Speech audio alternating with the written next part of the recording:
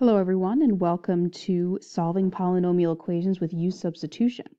And the good thing about this video is that a lot of these equations can be solved with a previous method we've been talking about or this new method of u substitution. And I've noticed in my experience that using u substitution, once you get the hang of it, sometimes is faster than the methods we've done already. So let's get started so you can see what I mean. Number one, notice when you look at this polynomial, it looks like it could be a quadratic, something squared, something in the middle, and then a number. And so my initial gut instinct is, can I somehow factor this? It looks very strange though. My second idea is, and some of you might be wondering, can I just FOIL this out, distribute this, and solve that way?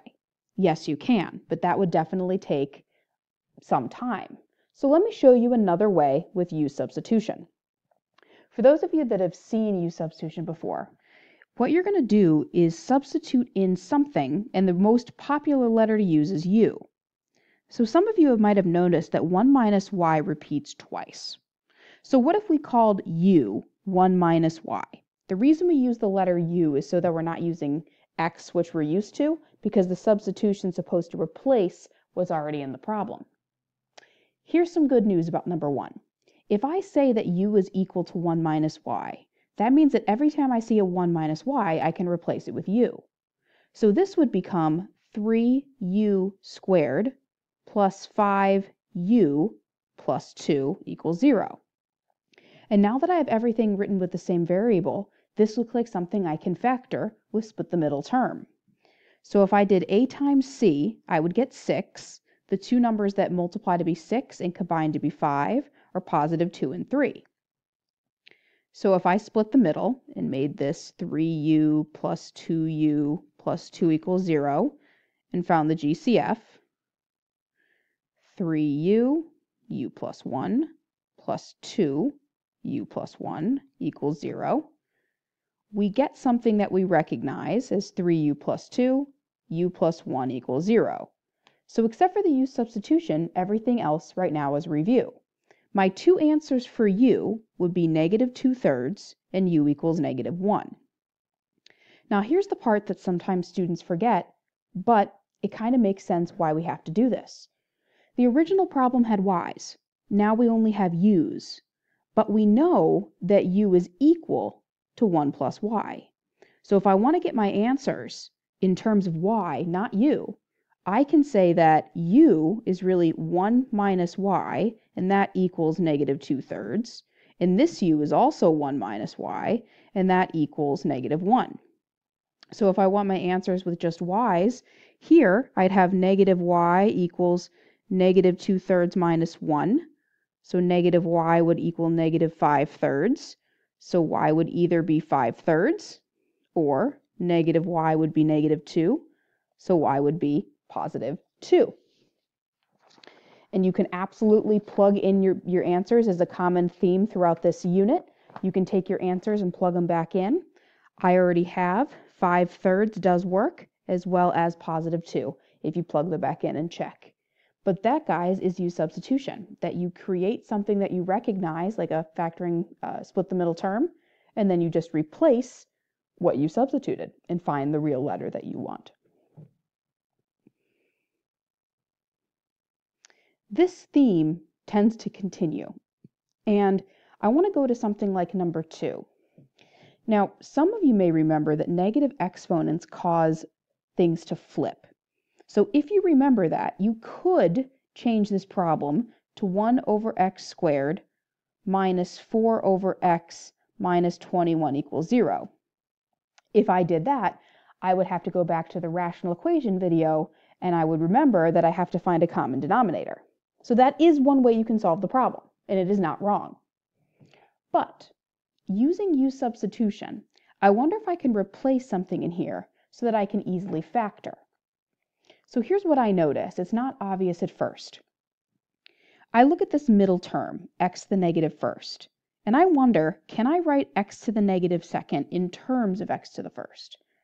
And so I think about it, and I think, wait a minute, x to the negative first squared isn't that the same as x to the negative second, because you multiply the exponents?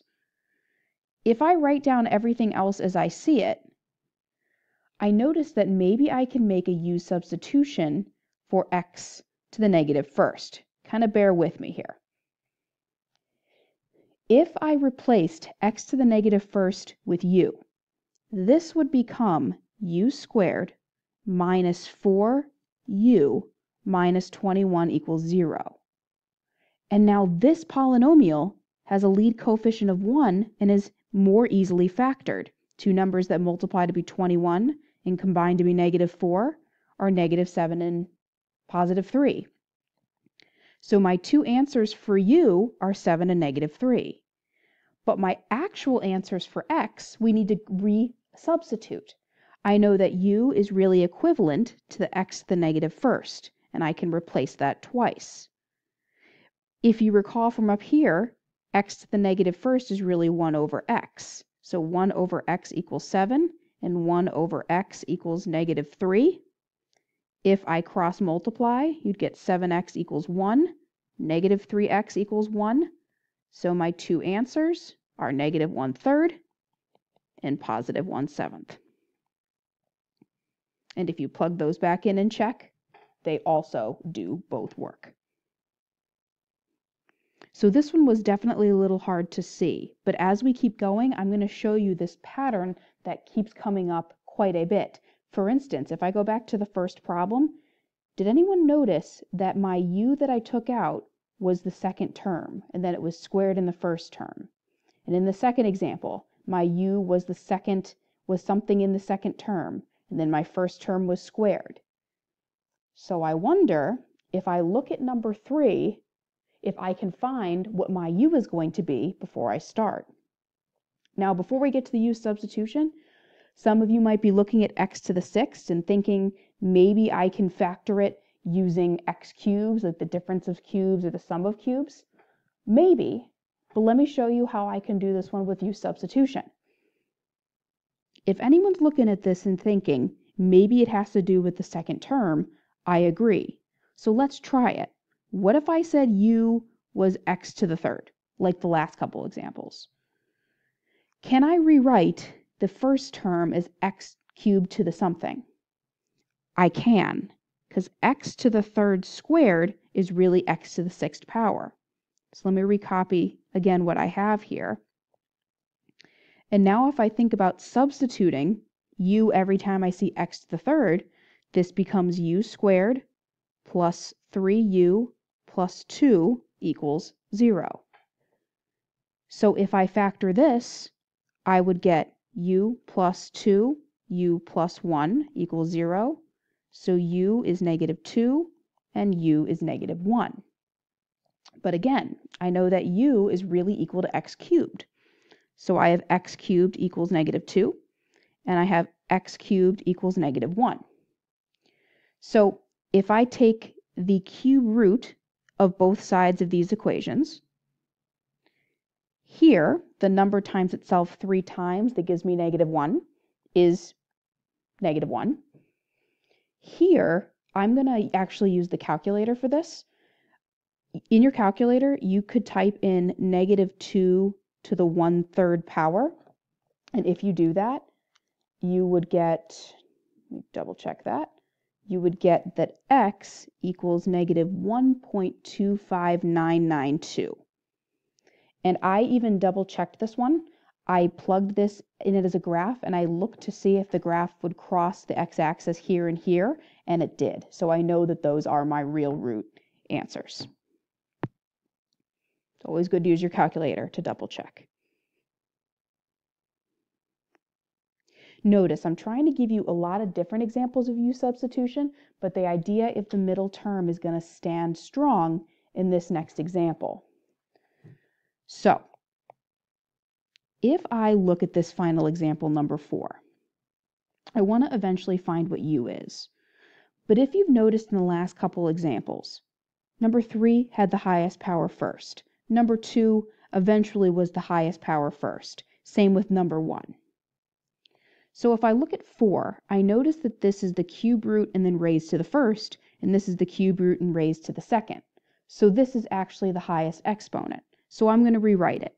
2x to the 2 thirds plus 3x to the 1 third equals 5. So all I did was switch these around. And now that they're in the correct order, my eye goes to this middle term. And I wonder if there's anything I can replace with u so I can factor this more easily. And so my eye goes to the one third. And I'm going to just try it. What if I said that u was the same as x to the one third? If we come to our first term, can we somehow change this to something squared? Well, if I have x to the one third, if I square x to the one third, is this the same as x to the 2 thirds power? Yes, it is, because one third times 2 is 2 thirds. So again, if I just rewrite the rest of the problem, and I think about u substitution, if I replace this with u and this with u, I get 2u squared plus 3u equals 5. So here's the part where I'm going to pause the video, and I want you to factor this with the u's, and I want you to try, that's terrible, you to try, to plug this substitution back in here to see if you can find the x's for, for x. So please pause now. All right, guys, so to come back with you, I moved the 5 over, said that if I have to split the middle term, my a times c was negative 10. So I said the two numbers that combined to be 3 was 5 and negative 2. So then I grouped and took u out of the first two and got 2u minus 5 plus 5 if you did it this way. Here, the reason I decided to do it this way was to remind you that you're technically taking out a negative 1, so you have to write that. So then you're left with 2u plus 5. If I factor it, if you got u equals negative 5 halves and u equals 1, great, great job. If you need to pause the video and copy, feel free. Unfortunately, we're not done with the problem yet, because if I use the u substitution and know that u is equal to x to the 1 third power, then I can replace u with x to the 1 third. And based on previous videos, how do I get rid of a 1 third quickly? Well, the inverse is cubing both sides. So here I'd get x equals negative 5 halves to the third. Negative 5 to the third is negative 125. 2 to the third is 8. So negative 125 over 8 is one possible answer. Here, if I raise both sides to the third, x would be positive 1. And I did take the time to plug both of these back in in my calculator and I did see that they worked. You could always plug it in and graph it as well to see, and that is your choice completely. But this is u substitution, that every single one of these problems could be solved a different way, but in the end, u substitution can be faster because you break it down into something that you already know, especially like something like number three, this was pretty quick to factor, and after you factor it, the solving after that is not too bad. And again, we will be practicing a mix of u substitution tomorrow as well as more cumulative review.